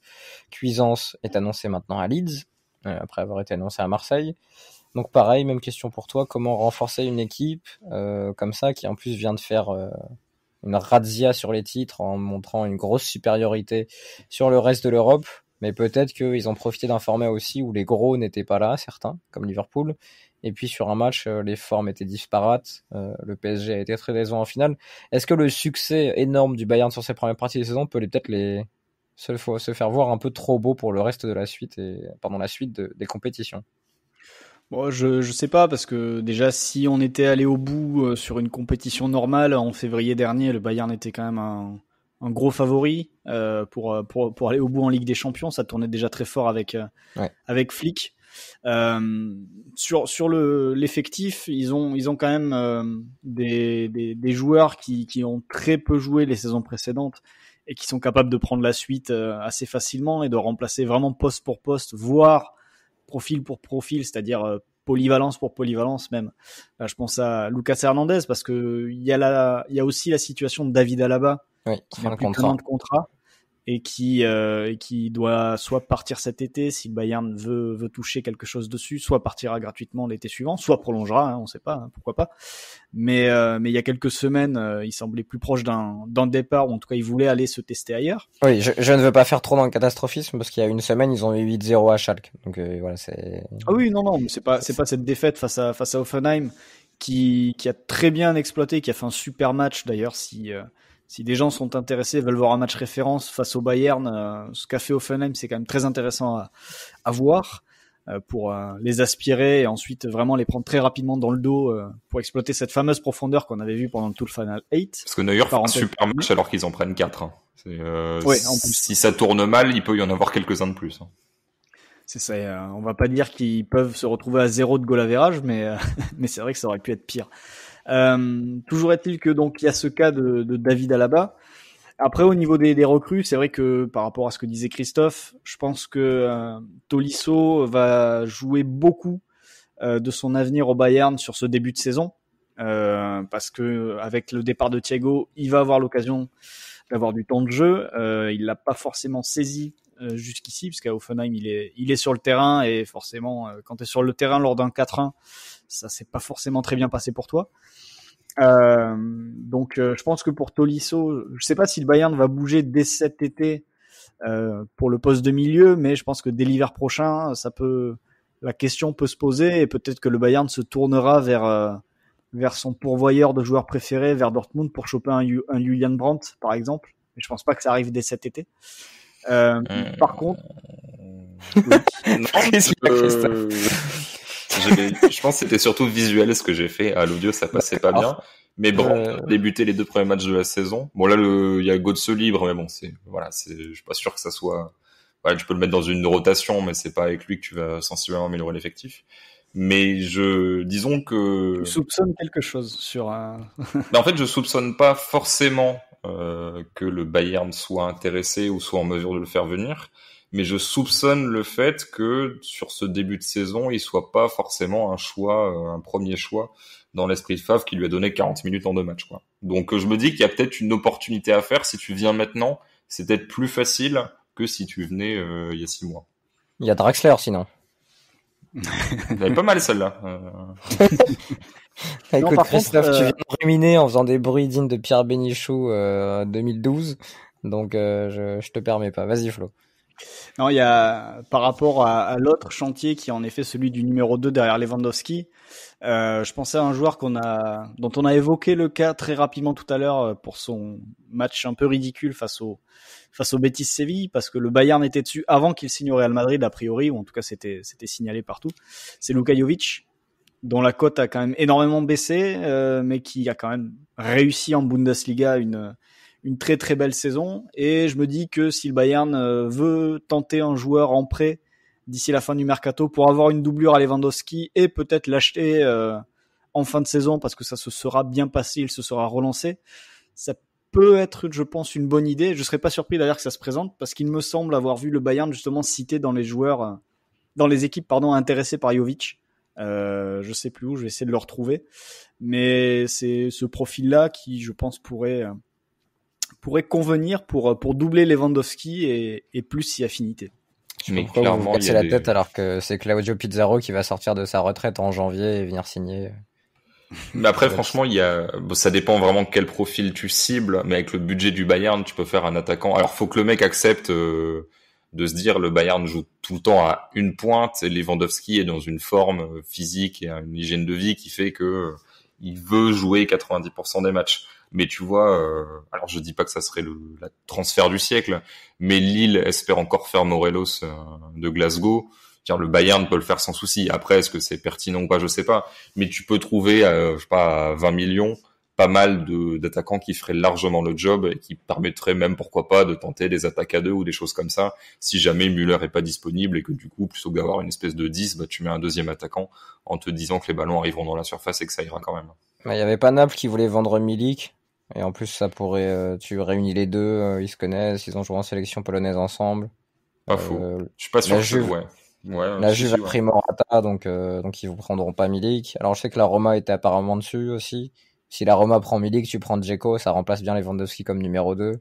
Enfin, tu peux aller chercher peut-être ces mecs-là dans un profil qui peut qui peut ressembler à Dzeko de à Lewandowski pardon de de loin quoi si si t'es un peu myope.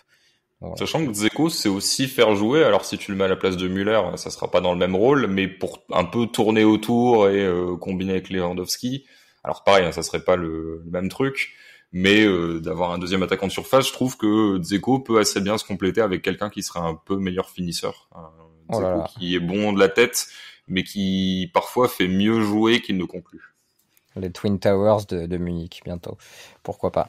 Voilà pour le Bayern et voilà pour notre euh, nos projections sur les sept gros européens de cette saison. Alors peut-être que des gens seront mécontents parce qu'on n'a pas mis leur club dans les gros, mais on voyait pas forcément d'évidence dans les autres championnats. Euh, Dortmund est à des années-lumière du Bayern. En Serie A, je pense qu'il y a personne qui est à la hauteur de la Juve. Alors l'Inter va concurrencer, mais bon, euh, Conte est tout près de. Enfin, t'as l'impression qu'il est toujours à, un, énervement de démissionner, de claquer la porte en première ligue, les autres sont très très très très loin et je sais même pas si City en fait sera à la hauteur de Liverpool cette saison, par exemple. Non, mais là, Raphaël, la, justification, c'est simplement des les champions des cinq grands championnats sur les deux trois dernières saisons. Il me semble qu'il y en a pas d'autres. On aurait, on aurait pu parler de l'Atlético, mais bon, euh, tous les ans, on parle de l'Atlético et tous les ans, on dit la même chose. Après, ils ont mis six buts pour nous faire mentir. Euh. Non, mais c'est ça, c'est ça qui est très rigolo, c'est que l'Atlético a joué avec Saúl Coquet dans l'axe et Correa et Carrasco sur les côtés, donc vraiment deux ailiers de percussion de débordement et euh, Joao Félix et Diego Costa devant, donc euh, un neuf et une espèce de neuf demi qui tourne autour. Mais vraiment, voilà, au lieu de mettre des milieux axiaux sur les côtés, ils ont mis des vrais joueurs de côté et les axiaux dans l'axe. Je dis pas que c'est la solution miracle, mais le truc est un peu rigolo quand même de voir qu'ils mettent six buts pour une fois où ils font leur composition vraiment dire, offensive d'un 4-4-2 euh, avec euh, avec tout le monde à son poste. Après, si tu arrives à tirer une dernière grosse saison de Luis Suarez, tu peux, honnêtement, vu le Barça réel de cette saison et des saisons dernières, tu peux jouer le titre. C'est peut-être l'année pour que l'Atlético rejoue le titre avec Simeone. Et, la Suarez est un peu en mode, j'ai l'impression, comme dans les films d'action euh, ou les Rocky, machin, où le gars est énervé. Ça va peut-être pas durer, mais là sur euh, sur le mental et sur la rage, et voilà, il fonctionne aussi un peu à ça. Ses qualités de footballeur, il les a. Euh, tu vois, là, il rentre, il fait, je crois, une passe D, deux buts. Ouais, c'est ça. Une passe D, deux buts, plus un but refusé, il me semble, en une vingtaine de minutes. Bon, c'est c'est pas dit que ça tienne, hein, mais j'ai connu des débuts plus compliqués pour te faire accepter euh, d'un nouveau club. À noter que Marcos Llorente entre et claque un but, une passe D, évidemment. Euh, évidemment. Faut, pas déconner non plus. Hein.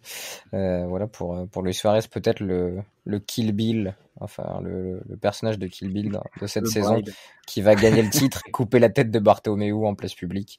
ça serait, on a quand même, on a quand même un François Clair, un François Clair dans, dans Drive et un Luis Suarez en The Bride. Si, si des gens veulent, se, veulent planter les affiches de films, on prend. Voilà. Ça me fait vraiment penser aux compiles de Benichou où des gens mettent des, des têtes de Benichou sur Kojak et tout. C'est n'importe quoi. Les gens sont, les gens sont fous sur Internet. Voilà pour nos, nos sept gros clubs de la saison et comment ils évolueront. On pourra faire un épisode flow à un moment de la saison pour voir où, on en, où, ils en sont, pardon, par rapport à ce qu'on a dit. Pourquoi, pas. Vers janvier, février, avant les, les huitièmes de Ligue des Champions, si la saison évidemment se déroule normalement. Passons au pari avec notre partenaire PMU.fr. PMU vous présente la séquence prono. Les pronostics avec PMU.fr. Je ne sais pas du tout ce que messieurs vous avez fait lors du dernier épisode, Florent. Euh, 0 sur 2. Très bien. Puisque je reprends mes, habitudes, euh, puisque Nîmes Lens s'est achevé sur un score euh, de 1 partout, il me semble. Je sais même plus. Je suis complètement largué sur les résultats. Absolument. Et euh, d'ailleurs, c'était, j'avais annoncé plus de 3,5. assez déçu que que je crois Kakuta trouve la barre euh, au bout de la troisième ou quatrième minute de jeu sur un coup de pied arrêté, qui à mon sens aurait pu emballer le match différemment. Malheureusement, le premier but est arrivé beaucoup plus tard. Et le deuxième pari, c'était Reims qui passe euh, face à Molvidi, et malheureusement, les Rémois se sont cassés la gueule. Christophe? Comme Bordeaux. Euh, moi j'ai fait 1 sur 2. Euh, alors mon pari qui m'est semblé ultra safe et passé vraiment au buzzer, c'était euh, Atlético Grenade, les deux équipes marquent. Donc il y a eu 6-1, le but de Grenade à la 87e, un but extrêmement moche mais qu'on prend pour euh, sauver le pari. Euh, donc ça c'était un peu plus de 2 et voilà ça me permet d'être quand même en positif sur le week-end. L'autre c'était Tottenham moins 2 il me semble. Je crois que j'avais hésité entre moins 1 et moins 2, moi j'ai pris moins 2. Euh, Tottenham a eu euh, un milliard d'occasions en tout début de match, a fini par mener 1-0 et le deuxième n'est jamais arrivé. ils ont pris un penalty sur une nouvelle main totalement involontaire. Et désormais, c'est penalty. Donc ça a fini un partout pour Tottenham. Pas de gros gros regrets dans la mesure où il a toujours manqué deux buts. Le scénario aurait pu aussi s'emballer parce qu'au bout ils ont quand même des occasions assez rapides. Mais euh, mais j'étais quand même relativement loin de passer cette cote qui était en plus assez élevée. Euh, Minson a quand même tapé deux fois la barre. Oui, mais bon, c'est Brighton a tapé cinq fois la barre hein, et le poteau euh, cumulé, donc il y a toujours pire je, suis en train de regarder le 11 de Newcastle et ça fait peur, mais ça a quand même euh, gratté le, le point du match nul. Donc vos paris, messieurs, pour ce week-end. Je vais commencer par toi, Christophe, parce que tu es premier dans mon, dans mon doc. Euh, tu as deux paris, un en Espagne, qui va nous permettre de reparler de l'Atlético Madrid, et un sur un, beau match en Première Ligue, puisque Bielsa va, va affronter Guardiola. Je te laisse choisir l'ordre, Christophe.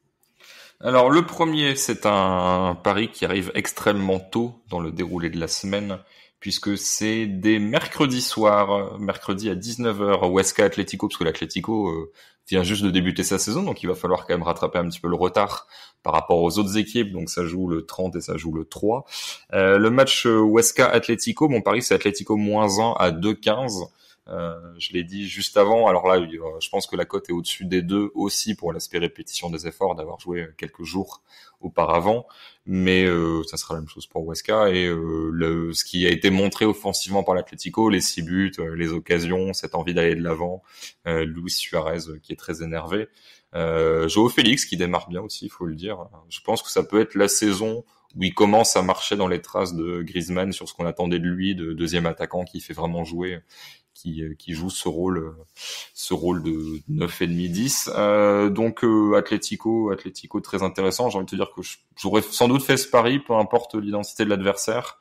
Euh, Huesca en face, nul contre Villarreal, un partout. Défaite face à Cadiz, autre promu, euh, 2-0, et nul face à Valence, un partout, dans un match où Valence a fait son deuxième tir, je crois, à la 70e minute, alors que Weska devait déjà être à 15. Donc Weska aime bien attaquer, aurait dû gagner ce match. N'empêche que les résultats ne sont pas là. Euh, donc le combo euh, Atletico qui attaque, Weska qui est une équipe plutôt offensive mais qui n'arrive pas à mettre ses occasions et qui est assez euh, assez permissif derrière et tout simplement moins bonne. voilà, deux buts d'écart minimum au-dessus des deux, c'est c'est assez bien payé vu vu la forme de l'Atletico. Je te laisse enchaîner avec ton deuxième, donc l'affrontement entre Bielsa et Guardiola, le premier depuis très longtemps. Absolument, le premier depuis très longtemps, depuis je pense l'époque Bilbao, euh, Bilbao face au Barça, où Bilbao pressait euh, de façon extrêmement individuelle, extrêmement agressive. Des matchs assez rigolos. Celui-là, c'est samedi à 18h30 puisque la première ligue continue ses matchs, puisque les, stades sont à huis clos et que les supporters, si tu ne vas pas au stade, tu ne peux pas voir ton équipe pendant les multiplex et tout. Il y a des histoires de, couvre-feu, machin. Enfin, c'est un peu compliqué. Là, tu as deux matchs le dimanche à 13h, sinon euh, chaque match est séparé sur une case individuelle, donc du coup, tu peux voir à peu près tout. Euh, tu as deux matchs aussi à 15h le dimanche, mais bon, bref, vous avez saisi l'idée. Euh, donc 18h30 samedi, Leeds euh, City, on sera évidemment devant. Mon pari, c'est que Leeds marquera en première mi-temps, c'est à 2,35. Euh, ces cotes, euh, je me pose la question de savoir si si j'ai bien lu la cote. Ça me paraît euh, assez assez même très bien payé que Leeds à domicile marque en première mi-temps à 2,35. Donc en attendant peut-être une normalisation de nos amis de PMU d'ici les prochains jours, je me jette là-dessus. Alors Leeds n'a pas marqué en première période ce week-end face à Sheffield, Sheffield qui avait pas garé le bus ni le quart, mais il était quand même il était quand même pas très loin Enfin, c'était un, c'était une espèce d'autocar. Hein. C'était pas, c'était pas un camion XXL, mais euh, Sheffield était quand même assez prudent. tu vas faire combien de temps sur la différence entre les, les, véhicules? Non, mais en fait, je manque de compétences là-dedans, donc du coup, je dis autocar, mais en fait, j'arrive même pas à visualiser un autocar. C'est, euh, quoi la différence entre un car et un autocar? Alors, je sais que la différence entre un car et un bus, c'est euh, notre ami Stéphane Kohler euh, qui fait toujours la distinction. Un bus, c'est euh, le truc, c'est le truc que tu prends dans les transports en commun et le car, il y a une soute. Donc du coup, le bus de Naïsna, en fait, c'est un car puisqu'il y a une soute. Un bus, c'est ce que tu prends dans les transports en commun. mais un autocar, je sais pas trop. je sais que je suis un autocar. Le, le car, c'est juste le diminutif de l'autocar, je pense. Ouais, je pense. Ouais. Mais c'est bizarre de mettre autocar. Tu me diras, il y a autobus aussi et bus, mais de mettre auto dans un, en même temps, c'est automobile. Bref, euh, Sheffield avait refusé le jeu, c'est absolument n'importe quoi.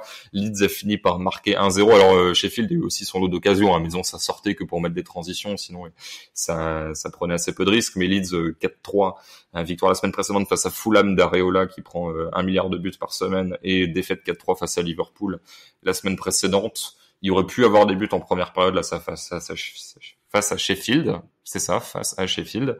Et euh, donc Manchester City qui a laissé des boulevards euh, ce week-end, je reviens pas là-dessus. Euh, je pense qu'il y aura, je pense qu'il y aura des buts. C'est le genre d'affrontement où ça accouche rarement d'une souris parce que les deux entraîneurs ont des convictions. Et le seul qui pourrait revenir dessus, c'est Guardiola, mettre un peu d'eau dans son vin. Et je pense pas que ça suffirait à empêcher Leeds euh, d'aller de l'avant et de marquer. Surtout que Patrick Manford met ses occasions. Alors ça durera peut-être pas, mais pour l'instant, c'est l'un des attaquants les plus efficaces d'Europe, donc euh, vive Patrick. vive Patrick. Merci Christophe pour ce joli mot de, mot de la fin pour toi. Florent, à ton tour euh, des paris, où on va parler un peu de Ligue 1, tiens. Euh, même si le Nîmes-Lens n'est pas passé, tu vas continuer à croire en la Ligue 1. Et puis ensuite, bah, on parlera de, du Barça et d'un joueur qu'on a déjà pas mal évoqué dans cet épisode. Vas-y Flo. Ouais, je vais croire en, en, la Ligue 1 en me tournant, euh, à défaut de, de, me retourner vers Nîmes, je vais me tourner vers Brest pour espérer voir des buts. Euh, parce que lors du fameux Nîmes-Lens euh, le week-end dernier, euh, il y avait d'autres matchs en même temps. Il y avait Monaco-Strasbourg et il y avait Brest-Angers, il me semble. Et en fait, tous ces autres matchs-là, il y a eu plus de 3,5, euh, plus de 3,5 buts dans ces matchs-là, puisque Brest a fait 3-2 face à Angers ou 2-2 ou 2-3. 3-2. Défaite 3-2 et Strasbourg a battu et Monaco pardon a battu Strasbourg en étant réduit à 9 contre 11.